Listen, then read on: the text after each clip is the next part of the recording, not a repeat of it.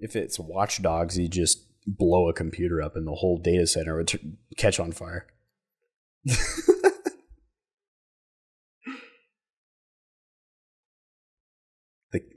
oh the the keyboard computer.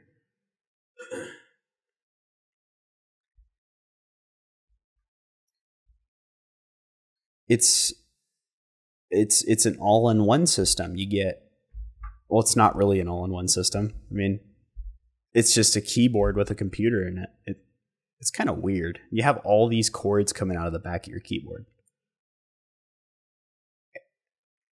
Now, th- now that I'm thinking about it, what if you like uh, ran a game on it or something, and your hands start to heat up because your keyboard's getting hot?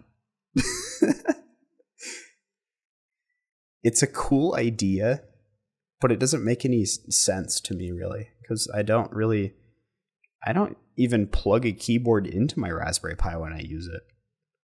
I guess that would depend on how people use the Raspberry Pi because I use the Raspberry Pi through SSH. You know SSH is, right?